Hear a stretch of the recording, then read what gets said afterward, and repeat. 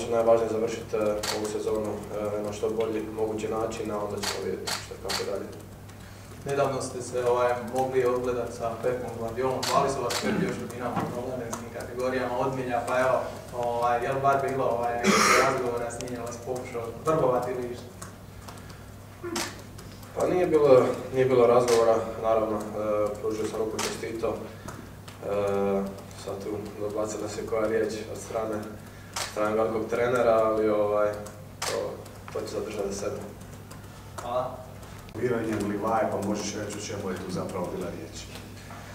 Da, pa nije mi ovaj, e, teško se koncent- koncentrirati na trening utakmice jer sam ovaj, 100% u njima i to je moj posao.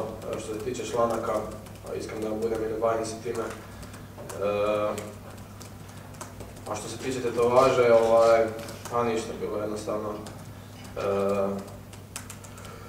neki zabavan e, tip intervjua, očigledno moja greška, e, ali ok, ne bi, ne bi puno pričao to. Bilo prošlo.